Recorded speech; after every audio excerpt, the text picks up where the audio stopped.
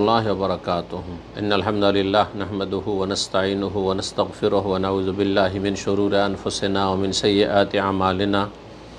من يهده الله فلا مضل له ومن يضلل فلا هادي له. وأشهد أن لا إله إلا الله وحده لا شريك له وأشهد أن محمدا عبده ورسوله. صلى الله تعالى عليه وعلى آله وصحبه وسلم تسليما كثيرا.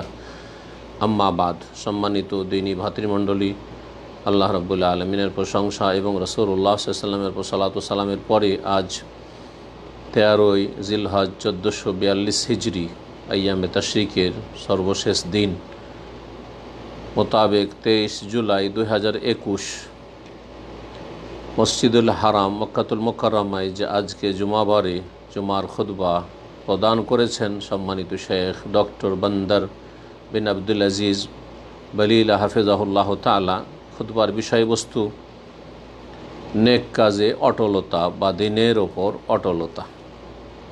আল্লাহ রব্বুল্লাহ প্রশংসা এবং রসুল্লাহ সাল্লামের ওপর সালাত সালামের পরে বলছেন, ফত্তাকুল্লাহ তালা আল্লাহকে ভয় করুন এবং তার আনুগত্য করুন। তিনি সব সময় আপনাদেরকে দেখছেন, এ কথা সবসময় মনে বসিয়ে রাখুন। যাকে মোরাকাবাতুল্লাহ বলা হয়, এবং তার নাফরমানি করবেন না। জেনে রাখুন যে তিনি হচ্ছেন একমাত্র সত্য মাবুদ। ইন্নামা এলাহকুম এলাহ ওয়াহিদ। আল্লাহ কোরআনিক নিয়ে বলেছেন যে, নিঃসন্দেহে তোমাদের সত্যিকারের মাবুদ হচ্ছেন এক মাবুদ, এক সত্য উপাস্য ফস্তাকিমুল্লাহু তার জন্য তোমরা অটলতা অবলম্বন করো ওস্তক ফেরুহ এবং তার কাছে ক্ষমা প্রার্থনা করো ওয়াইলুল মুশ্রিকিন। মুশ্রিকদের জন্য রয়েছে দুর্ভোগ। হে মুসলিমগণ, আমরা জিলহজ মাসের সবচাইতে উৎকৃষ্ট উত্তম দিনগুলি গোটা বছরের ভিতরে অতিক্রম করলাম। তার সাথে সাথে হজের মোবারক দিনগুলি আমরা পার করলাম। যেই গুরুত্বপূর্ণ, বরকতপূর্ণ দিনগুলি আমাদেরকে বহুমুখী নিয়ামত উপহার দিয়েছে, আমাদের জন্য আল্লাহ রবুল আলমিনের অশেষ রহমত নিয়ে এসেছে। এই দিনে আমরা যা কিছুই আমল করলাম সব কিছুই সংরক্ষিত রয়েছে। সুতরাং মোবারকবাদ ওদের জন্য যারা এতে সফলতা লাভ করতে পারল এবং দুর্ভোগ, আক্ষেপ ওই সব লোকের জন্য যারা কল্যাণ থেকে, নেকির পথ থেকে বঞ্চিত থাকল। আর সবচেয়ে বড় যে বিষয়টি, যেটি মুসলিমের জীবনে বড় সফলতা, তা হচ্ছে এই দিনগুলির ফলাফলস্বরূপ একটি গুরুত্বপূর্ণ শিক্ষা তা হচ্ছে যে আমল আমাদেরকে নিয়মিত করে যেতে হবে। নেকির কাজে আমাদেরকে সর্বদা অটল থাকতে হবে। নেকির কাজ কতই না সুন্দর লাগে যদি নেকির পর নেকি হতে থাকে।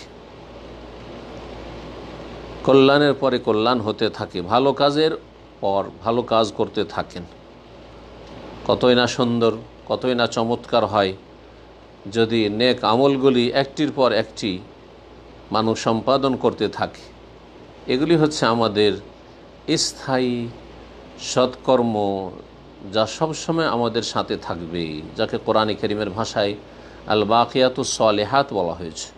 আল্লাহ রবুল আলমিন এরশাদ করেছেন ওয়াল বাকিয়াতু সলেহাতু খৈরুন ইন্দা রব্বিকা সওয়াবা খৈরুন আমালা।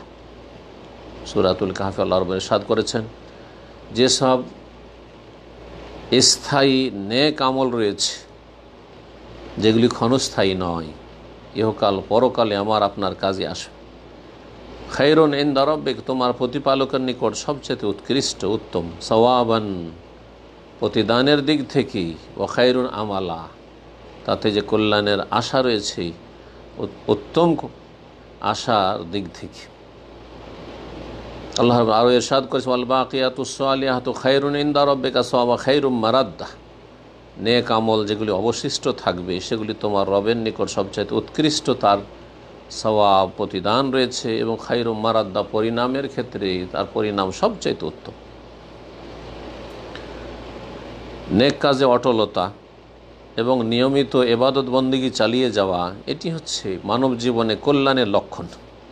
আল্লাহ রব্বুল আলমের পক্ষ থেকে যে তৌফিক, এ তৌফিকের পরিচয় এবং আল্লাহ রব্বুল আলমিন যে ওই ব্যক্তিকে, ওই ব্যক্তির নেক আমলকে কবুল করেছেন, যেই ব্যক্তি নিয়মিত নেক আমল করে যায়, এর বাস্তব প্রমাণ। মহান আল্লাহ ইরশাদ করছেন, ওয়ালাউ আন্নাহম ফালু মায়ুজ আজুন আবে যদি তারা তাদেরকে যা উপদেশ দেওয়া হয়েছে সম্পাদন করত লাখানা খাইর আল্লাহম তা তাদের জন্য অতি উত্তম হতো। আসাদ্দা তসবিতা এবং দিনের ওপর অটলতার ক্ষেত্রে আরও দৃঢ় হইত।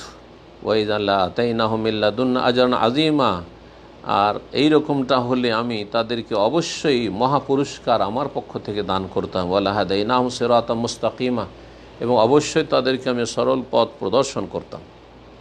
হে আল্লাহর বান্দারা, হেদায়তের পথ এমন একটি পথ যা কোনো সময়ের সাথে সীমাবদ্ধ নয়। রব্বুল আলমিনের এবাদত বন্দেগি কোনো একটি স্থান বা কালের সাথে সীমিত নয়। হাসান বাসরি রহমতুল্লাহ আলাই প্রখ্যাত তাবেই ইমাম। তিনি বলছেন ইন্নআল্লাহ আল্লামি আজ আল্লি আমালিল মোমিন আজালান্দুন আল মৌত আল্লাহ রবুল্লা আলমিন মমিনের আমলের সময়সীমা মৃত্যুর আগে রাখেন নাই। মৃত্যুর আগে এমন কোনো সময়সীমা নাই যেখানে মানুষের মমিনের আমল শেষ হয়ে যায়। তারপরে আয়াতটি পাঠ করেছেন। সুরায় হেজরের আয়াত, শেষ আয়াত, ওয়াবুদ রব্বা কাহাত্তা ইয়াতিয়া কালিয়াকিন তুমি তোমার প্রতিপালকের ইবাদত চালিয়ে যাও, তোমার কাছে মৃত্যু আসা পর্যন্ত। নেখির ময়দান অত্যন্ত প্রশস্ত ময়দান। সালাত, নেক আমল, সেয়াম, রোজা অমরা করা কোরআনে করিমের তেলাওয়াত, জিকির, আজকার জাকাত সাদকা, দান খৈরাত করা। এবং আল্লাহ রব্বুল আলমিন যতগুলি এবাদত বন্দেগি শরীয়তে প্রণয়ন করেছেন, ফরজ হিসাবে তার পাশাপাশি প্রত্যেকটি নেকির ক্ষেত্রে নফলও শরীয়তে রয়েছে। যাতে করে বান্দা বেশি বেশি নেকি সওয়াব অর্জন করতে পারে এবং তার পরিণাম অতি উত্তম হয়। নবী করিম সাল্লাহ আলী সাল্লামের হাদিস রয়েছে, কাল আল্লাহ তালা মোহান আল্লাহ ইরশাদ করেন হাদিসে কুদসি ওমায়াজাল আবদি আতাকার এলাই বিন নওয়াফিল বান্দা নফল এবাদত বন্দিগির মাধ্যমে আমার সান্নিধ্য লাভ করতে থাকে, হাত্তা ওহিব্বাহু এমনকি তাকে আমি ভালোবাসতে শুরু করি। ফায়জা আহবাব তহু যখন তাকে আমি ভালোবাসি ফরোজের পরে নফলের কথা এই হাদিসে আল্লাহ রব্বুল্লা আলমিন বর্ণনা করেছেন। যখন আমি তাকে ভালোবাসতে লাগি, তার ফরজের হেফাজতের সাথে সাথে নফল এবাদত বন্দীগীর মাধ্যমে যে সে আমার নৈকট্য অর্জন করার চেষ্টা করে, তখন আমি তাকে ভালোবাসি। ফাইজা আহবাব তো যখন তাকে ভালোবাসি তো সাম আহুল্লাজি ইয়াসমা বেহ, তখন আমি তার শ্রবণ শক্তি হয়ে যাই, যা দিয়ে সে শোনে। অর্থাৎ তার শ্রবণ শক্তি আমার সন্তুষ্টির কাজে নিয়োজিত থাকে। অবাসারাহুল্লাজি উবসের ওবেহি এবং তার দৃষ্টিশক্তি যা দিয়ে সে দেখে, তার দৃষ্টিশক্তি আল্লাহ রব্বুল্লা আলমিনের সন্তুষ্টির কথা কাজ ছাড়া অন্য কিছু দেখে না। ও ওয়াদাহুল্লাতি ইবতে সুবেহার তার সেই হাত, যে হাত দিয়ে ধারণ করে সেই হাত, তে আল্লাহ রব্বুল্লাহ সন্তুষ্টির কথা কাজ যে লেগে থাকে। ওয়ারিজ রাহুল্লাতি ইয়মশি বেহা, এবং তার সেই পা যা দিয়ে সে চলাফেরা করে, সেই পা আল্লাহ রব্বুল সন্তুষ্টির কথা কাজে সর্বদা নিয়োজিত থাকে। ওয়াইনসা আর ওয়ালা ইনসা আল্লাহ নিলাউতি আন্না এইরকম যখন উচ্চ স্তরের ইমানের অধিকারী হয় মানুষ, তখন আমার কাছে কোনো কিছু চাইলে অবশ্যই অবশ্যই আমি তাকে দিই। ওয়ালাইন ওয়ালাইন ইস্তায়াজানি লাউইজান্না আর যদি আমার কাছে আশ্রয় কামনা করে, তো অবশ্যই তাকে আমি আশ্রয় দান করে থাকি। সেই বখারি হাদিস। নেক আমল নিয়মিত করে যাওয়া এবং তার উপর অটলতা, যদিও অল্প স্বল্প হোক না কেন। নফলের ক্ষেত্রে। ফরজ, যতটা আল্লাহ ফরজ করেছেন আদায় করতে হবে। কিন্তু নফলের ক্ষেত্রে নিয়মিত করে যাওয়া যদিও তার পরিমাণ কম হোক না কেন, এমন অনেক বেশি পরিমাণ নেক আমলের চাইতে ভালো যে আমল অল্প সময়ের জন্য করলেন, আবার ছেড়ে দিলেন। মায়েশারদি আল্লাহ তালানা থেকে বর্ণিত হাদিস রয়েছে সহি বখারি, মুসলিমে। তিনি বলেন সোহেল নবী সাল্লাহ আলী আসাল্লাম নবী করিম সাল্লা সাল্লামকে জিজ্ঞাসা করা হয় আইউল আমাল আহাব্বুল আল্লাহ আল্লাহ রব্বুল আলমিনের নিকট কোন আমল অধিক প্রিয়? কালা, তখন রসুল্লাহ বললেন আদুয়া মোহাওয়াইন কাল্লা। যে আমল স্থায়ী হয়ে থাকে, যদিও পরিমাণে কম হোক না কেন। এই রকমই প্রখ্যাত তাবে আলকামা রহমতুল্লাহ আলাই মা মায়েশরাদি আল্লাহ তালানাকে জিজ্ঞেস করেছিলেন যে ইয়াউমাল মোমিনিন, হে মমিনদের জননী কৈফা কান আমল ও রসুল্লাহ সাল্লাহ আলি রসুল্লাহ সাল্লামের নিয়মিত দৈনন্দিন আমল কেমন ছিল? হালকান একুশ সাইয়ামিনাল আয়াম বিশেষ কোনো দিনকে তিনি খাস করে নিতেন বিশেষ আমলের জন্য, যে, যেই দিনগুলোতে তিনি কঠোর পরিশ্রম করে বন্দি করবেন আর সারা দিন রাত করবেন, এমনটা করতেন? কাল আল্লাহ এমনটা করতেন না, যে বিশেষ বিশেষ দিনে রাত, দিন এবাদবন্দি করে যাচ্ছেন। আর মাঝে মধ্যে তেমন করছেন না, এমনটা করতেন না। কান আমল হো দি মাহ তার যে আমল হইতো সেটা স্থায়ী হইতো। ওয়াইকুম ইস্তাতীয় মা কান নবী সাল্লাম ইস্তাতীয় আর রসুল্লাহ সাল্লাম স্থায়ীভাবে যেই নফল এবাদত বন্দিগুলি কঠোর পরিশ্রমের সাথে করতেন, এইরকম ক্ষমতা তোমাদের কার রয়েছে যে ক্ষমতা রসুল্লাহ সাল্লাহ সাল্লামের ছিল? সহি বখারি মুসলিমের হাদিস। এমাম হাফিজ বিন হাজ রহমতুল্লাহ আলে বলছেন, আল আউলাফিল এবাদতে আল কাসদু আল মোলাজামা। এবাদত বন্দির ক্ষেত্রে উত্তম হচ্ছে মধ্যম পন্থা অবলম্বন করা এবং সেটাকে আঁকড়ে ধরে থাকা, নিয়মিত চালিয়ে যাওয়া। লাল মোবালগাতুল মুফদি আল্লাহ তার্ক, এমন সীমালঙ্ঘন বাড়াবাড়ি নয় যে একবারে সীমা ছড়িয়ে গেলেন কঠোর পরিশ্রম করে বন্দি করতে গিয়ে। আর এক সময় সেটা পরিত্যাগ করে ফেললেন, বিরক্তি চলে আসলো, আইঘামি চলে আসলো, সেটা ছেড়ে দিলেন। এমনটা নয়। আল্লাহ রবুল্লা আমি যেন আমাদেরকে সমস্ত রকমের নেক আমলের তৌফিক দান করেন এবং সমস্ত গুণা থেকে বেঁচে থাকার তৌফিক দান করেন এবং আল্লাহ আমাদেরকে যখন মৃত্যু দান করবেন, তখন আমাদের উপর যেন সন্তুষ্ট থাকেন এবং আল্লাহ রব্বুল আমাদের মহাগ্রন্থ আল কোরআনে যেন বারাকা দান করেন এবং নবী করিম সাল্লাহ ইসলাম আদর্শ দিয়ে আমাদেরকে যেন ইহকাল পরকালে লাভবান করেন। প্রথম খুদ্া এখানে সংক্ষেপে শেষ করে দ্বিতীয় খুদ্বায় আল্লাহ রব্বুর আলবুর আলমিনের প্রশংসা এবং নবী সাল্লামের সাল্লা সাল্লামের পরে বলছেন যে, হে মমিনগণ, হে হাজি সাহেবগণ, আপনারা হজের শিক্ষা থেকে বেরিয়ে এসেছেন অনেক রকমের শিক্ষা নিয়ে এবং অনেক মহত্বপূর্ণ শিক্ষা নিয়ে। এই হজ, পবিত্র হজ আল্লাহ ফরজ করেছেন। এই হজের মধ্যে আপনারা তৌহিদের শিক্ষা নিঃসন্দেহে পেয়েছেন। যে তৌহিদ কীভাবে এই বাইতুল্লাহর হজে ফুটে উঠেছে। সুতরাং হজ থেকে ফিরে যাওয়ার পরে এবং হজের অবস্থায় আল্লাহ ছাড়া অন্যের এবাদবন্দি করবেন না। আল্লাহ ছাড়া অন্যকে আহ্বান করবেন না, অন্যকে ডাকবেন না। ইয়া গৌস, ইয়া খাজা, ইয়া আলী, ইয়া হুসাইন করবেন না।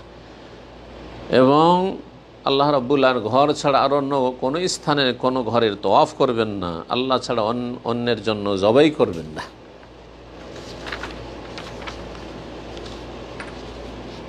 হজে আল্লাহ রব্বুল্লা আলমিন আপনাদেরকে একটি গুরুত্বপূর্ণ শিক্ষা দিয়েছেন, তা হচ্ছে নেকির কাজের ওপর ধৈর্য ধারণ করা, অটলতা অবলম্বন করা এবং কুপ্রবৃত্তির অনুসরণ থেকে নিজেকে বিরত রাখা। শয়তানের যে জাল পাতানো রয়েছে, সেই জালে ফেসে যাওয়া থেকে নিজেকে রক্ষা করা। আপনাদেরকে নির্দেশ দেওয়া হয়েছে যে সব সময় নেক আমল করতে থাকবেন এবং যা কিছু আল্লাহ নির্দেশ দিয়েছেন সেগুলির ওপর অটল থাকবেন, যা কিছু আল্লাহ নিষেধ করেছেন সেগুলি থেকে দূরে থাকবেন। মহান আল্লাহ তার নবী সাল্লাহ আলী সাল্লামকে সম্বোধন করে বলছেন, ফাস্তাকিম কামা ও মির্তাহ হে নবী, তোমাকে যেইভাবে আদেশ করা হয়েছে, ওইভাবেই অটল থাকো। জি, নিজের খেয়াল খুশি, নেক আমল করলে চলবে না। এখানে এটাও বলা হয়েছে, যেমন দিনের ওপর অটলতা, নেকির কথা কাজে, ভালো কাজে অটল থাকার কথা বলা হয়েছে, পাপাচার থেকে বেঁচে থাকার ক্ষেত্রে অটলতার নির্দেশ দেওয়া হয়েছে, তেমনি সেটা পালন করতে হবে। কামা ও মির্তা যেমন তুমি আদিষ্ট হয়েছ, আল্লাহ রাব্বুল আলমিন তার অহিতে যেইভাবে আদেশ করেছেন, যেই দিন নাজেল করে, সেই দিনের ওপর তুমি অটল থাকো। সাহাবি সুফিয়ান বিন আবদুল্লাহ সাকাফি রাজি আল্লাহ তালাহ বলছেন, কুলতু ইয়া রাসুল আল্লাহ আমি বললাম, হি আল্লাহ রসুল সাল্লাহ কুল্লি ফিল ইসলামে কৌলান ইসলাম সম্পর্কে একটি শর্টকট কথা বলেন। লা আস আলু আহাদান, লা আস আলু আনু আহাদান বাদাক। আপনার পরে যাতে করে এই সম্পর্কে আর আমাকে কাউকে জিজ্ঞেস না করতে হয়। এমন একটি কথা বলে দেন, গুরুত্বপূর্ণ কথা যেটা আমি শক্ত করে ধরে থাকলে আমার ইহকাল পরকাল কল্যাণ যেন যথেষ্ট হয়। রসুল্লাহ বললেন, কুল আমন্ত বিল্লাহ মাস্তাকিম শুধু দুটো বাক্য, দুটো কথা বলেছিলেন। কুল, তুমি কথা বলো, আমন্ত বিল্লাহ। আমি আল্লাহর প্রতি ইমান নিয়ে এসেছি, আল্লাহর প্রতি বিশ্বাস স্থাপন করেছি এবং আল্লাহ রব্বুল আলমিনের একত্রের আমি স্বীকৃতি দান করেছি, মেনে নিয়েছি। ফস্তাকিম, তারপরে তুমি এর ওপর অটল থাকো, অবিচল থাকো। সাহাবি সহবান রাজি তালাহ বর্ণনা করেছেন রসুল উল্লাহ বলেন, ইস্তাকিমু ওয়ালান তহুসু, তোমরা দিনের ওপর দৃঢ়তা অবলম্বন করো, নেকির কাজে অটল থাকো, সোজা চলো, অবিচল থাকো। ওয়ালান তহসু, আর তোমরা সব কিছুর সংরক্ষণ করতে পারবে না। যদি মনে করো যে সব কিছু করে ফেলব এবং পুরোপুরি আমরা করে ফেলব, সেটা সম্ভব নয়।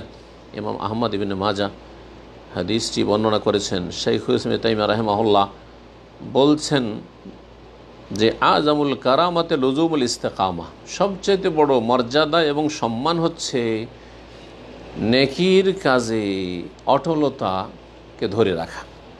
দিনের ওপর অবিচল থাকাকে সবসময় ধরে রাখা। আল্লাহ রব্বুল আলমিনের কাছে কামনা করুন, আল্লাহ যেন আমাদের উপর সন্তুষ্ট হয়ে যান, আল্লাহ যেন আমাদের নেক আমলগুলি কবুল করেন এবং আল্লাহ রব্বুল আলমীর কাছে হেদায়তের আশা রাখুন এবং আল্লাহ রব্বুল আলম যাতে করে প্রতিষ্ঠিত রাখেন, দিনের উপর অবিচল রাখেন, এই আশা আল্লাহর কাছে রাখুন। আলী রাজি আল্লাহ তালাহকে রসুল উল্লাহ বলেছিলেন হে আলী, তুমি বলো, আল্লাহ মাহদেনি ওসাদ্দেদনি আল্লাহ তুমি আমাকে হেদায়ত করো, সঠিক পথে রাখো ওসাদ্দেদনি এবং আমাকে প্রতিষ্ঠিত রাখো। সেই মুসলিমের হাদিস।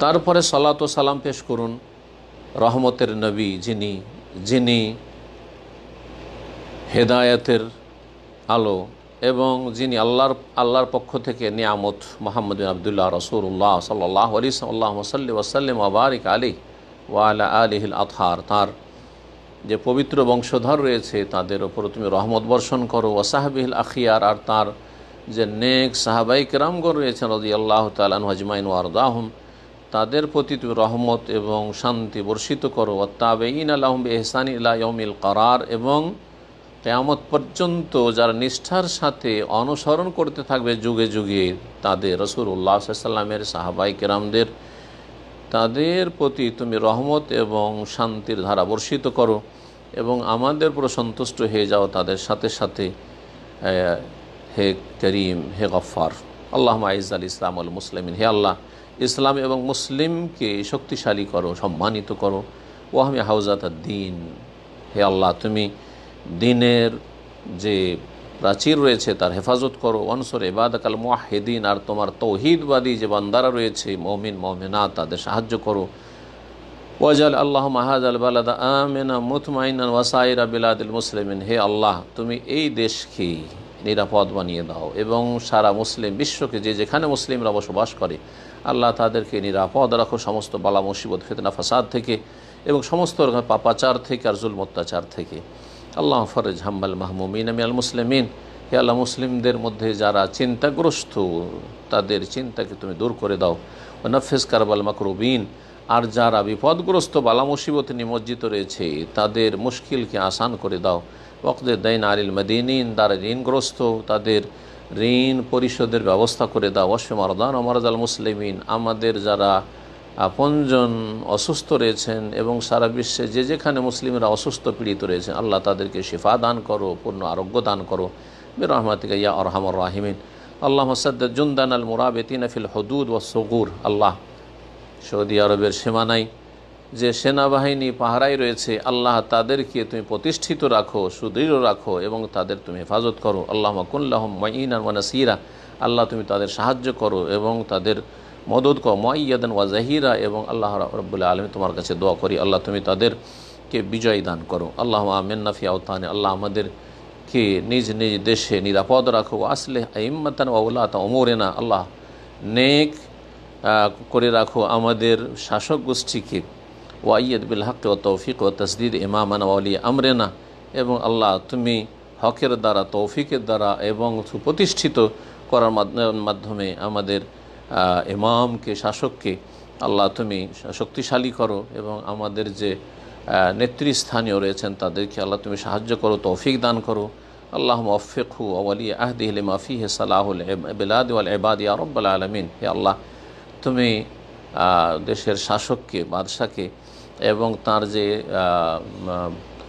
আগামী স্থলাভিষিক্ত রয়েছেন অলি আহাদ রয়েছেন, তাকে তুমি এমন ভালো কথা কাজের তৌফিক দান করো, যার মাধ্যমে দেশ এবং দেশের জনগণ এবং আল্লাহর বান্দাদের কল্যাণ হয়ে থাকে। ইয়া রব্বুল ইয়া রব্বাল আলমিন। আল্লাহ মাহাবিব আল ইমান আল্লাহ আমাদের ইমানের ভালোবাসা পয়দা করে দাও অন্তরে। ওয়াজাইয়ান হফি কলুবেনা এবং ইমান দিয়ে আমাদের অন্তরকে সুসজ্জিত করো। ইমানকে আমাদের অন্তরে সুসজ্জিত করো। আকার এলাইন আল কুফরা আল ফুসুক আল আসিয়ান এবং আমাদের অন্তরে ঘৃণা সৃষ্টি করে দাও কুফরির এবং পাপাচারের এবং বিরুদ্ধাচরণের। ওই যে আল্লাহ মিনা রাশেদিন, আল্লাহ আমাদেরকে হেদায়ত প্রাপ্ত বানিয়ে দাও। ইন আল্লাহ ইয়ামুর বিল আদল আল হিসান ওয়া ইতাইদিল কুরবা ওয়া ইয়ানহাইল ফাহশা ওয়াল মুনকারুল বাগি ইয়াইদুকুম লাআল্লাকুম তাযাক্কারুন। ওয়াফু বিআহদিল্লাহি ইযা আহাদতুম ওয়া লা তানকুযুল আইমানা বাদা তাওকীদিহি ওয়া ক্বাদ জাআলতুমুল্লাহ আলাইকুম কাফীলা। ইন্নাল্লাহা ইয়ালামু মা তাফআলুন। আল্লাহ রাব্বুল আলামিন মানুষকে সুবিচার নির্দেশ দিয়েছেন। এহসান সদাচর নির্দেশ দিয়েছেন, আত্মীয় স্বজনদেরকে প্রদান করতে বলেছেন, যাদের প্রয়োজন রয়েছে যা কিছু। ওয়ানহাই ফাহাসা অশ্লীল কথা কাজ থেকে বারণ করেছেন, ওয়াল মুনকার অন্যায় কথা কাজ থেকে নিষেধ করেছেন, ওয়াল বাগিজুল অত্যাচার থেকে নিষেধ করেছেন। আল্লাহ তোমাদেরকে উপদেশ দিচ্ছেন, যাতে করে তোমরা উপদেশ গ্রহণ করো। এখানে আজকের সংক্ষিপ্ত খোবার তর্জমা শেষ হল। সাল্লাহ সাল্লাম আলা নবীনা মোহাম্মদ ওয়ালা আলহি ওসাহবিহি আজমাইন।